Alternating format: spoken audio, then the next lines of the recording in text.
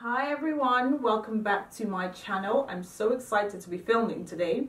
So, my name is Jumoke. I wanted to talk to you today about finances. It's a little bit uncomfortable for some people to talk about money, but I think it's really important nonetheless.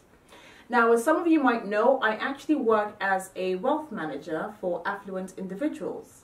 So what that means is that I preserve the wealth they've already made and I am tasked with growing that on a yearly basis, regardless of what the economy does or how the markets are doing. So that's a very tough job, but it's really, really exciting and I love it.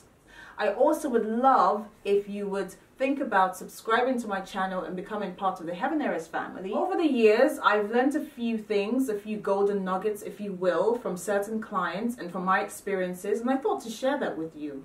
Things that have helped me save more and spend less. If you'd like to know more about how you can improve your finances, keep watching.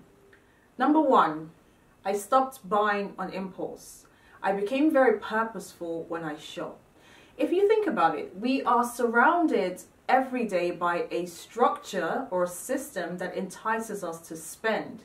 Every advertisement you see on TV, every shop front, it's all, you know, a gimmick. It's all sort of, you know, part of this consumeristic ecosystem that we find ourselves.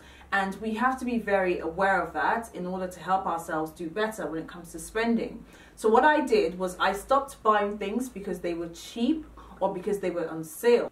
Those were the two things I knew were such a pitfall for me in the early years. What I do now is that I buy quality, high quality items that I can get more wear out of. So basically, my price per wear comes down every single time I use the item or I wear the piece of clothing. I think that's actually more efficient than spending on cheap items that you have to replace over and over again because they don't last.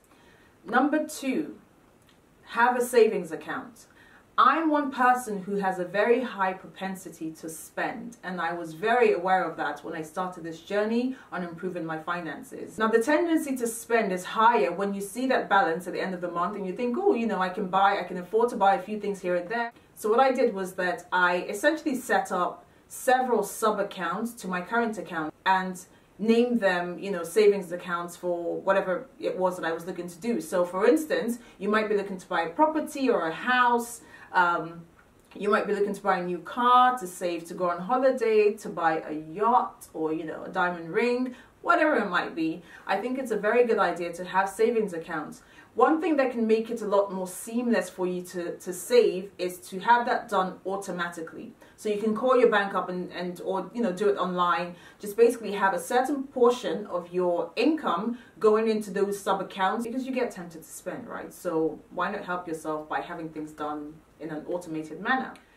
Number three is the B word, budget. Now, it's very hard to budget. I understand that. I struggled with it for so long. But the more you do it, the more you get used to the idea of not spending everything you earn in one month. If you think about it, you are essentially mortgaging your life. I hate to say it that way, but that is the truth. When you work for someone, you are giving them your time, your effort, your sweat, um, you know, and everything in you for a certain amount every month. But the great thing about a budget is that it helps you see in a snapshot what your inflows are and what your outflows are in terms of your income and your expenses electricity, gas, water, rent, uh, mortgage, whatever it might be. It also gives you a net amount from which you can save.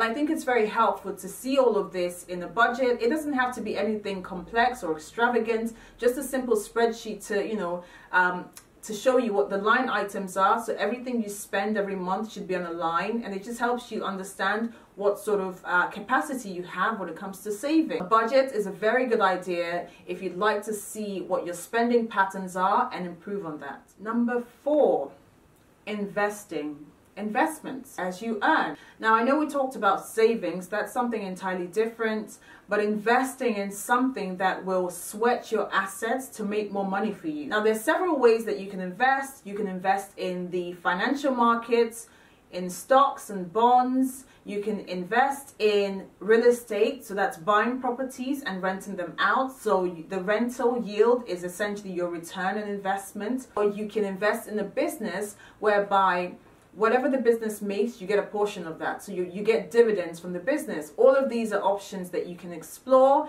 But what I believe is you should never have cash just sitting idly in a bank account um, doing nothing. And for my UK lovelies, we have Brexit on the way.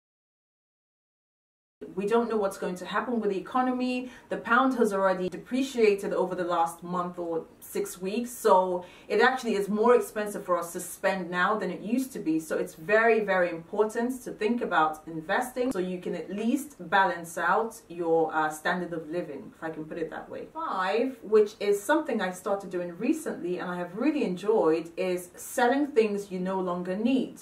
Now, I'm sure we all have one or two things in our abodes that we can sell, and it actually gives me great pleasure to think that the things I no longer have use of, or the things that no longer um, are needed by myself, can give someone else joy and can bring some usage to someone else. So recently, I started selling things I no longer need, and it's a great source of income. It helps you declutter, so it's a win-win situation, right? Think about it and uh, have a go. So thank you so much for your time. I hope this video has been very helpful. If you'd like to see more of these kind of videos from me, definitely let me know. If you have any questions around wealth management or how to manage your finances better or how to create a budget, certainly let me know. I'd love to hear your thoughts. Uh, so leave me a comment, share your ideas and ways that you yourself have learned to save more and spend less. I also would love if you would think about subscribing to my channel and becoming part of the Heaven Heiress family. I'd love to have you all on board. I hope to see you in my next video. Have a great day. Bye for now.